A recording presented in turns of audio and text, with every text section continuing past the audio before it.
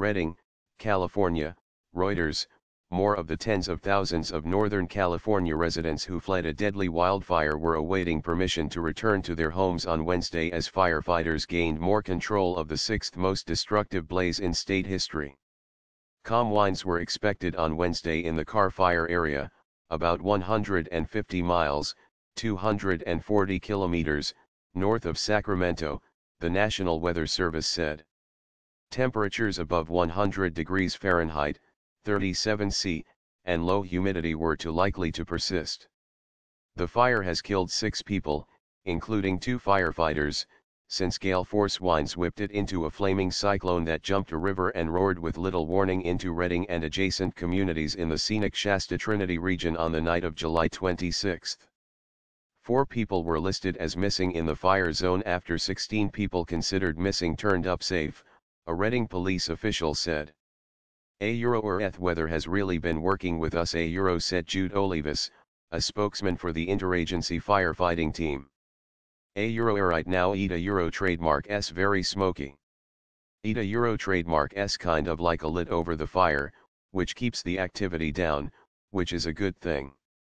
It gives us time to catch up a Euro.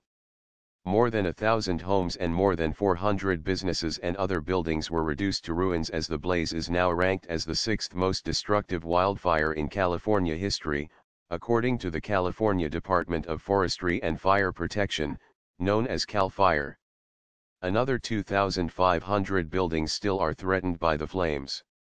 Diminished winds on Tuesday helped some 4,100 firefighters gain significant ground on the fire they had cut containment lines around 35% of the Firea Euro trademark S perimeter by Wednesday morning, up from 5% during much of the past week, even as the footprint of scorched landscape grew to about 181 square miles, 469 square kilometers, an area larger than Detroit.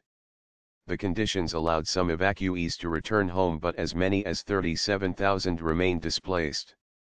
Lighter winds also gave a boost to firefighters battling two fires at the southern end of Mendocino National Forest, where some 12,200 people were under mandatory evacuation orders. The ranch and river fires have charred more than 80,000 acres, 32,000 hectares, with containment measured at 12% for the two together. The Carr Fire stood as the most formidable of 94 wildfires burning across 13 U.S. western states, from Texas to Alaska, according to the National Interagency Fire Center.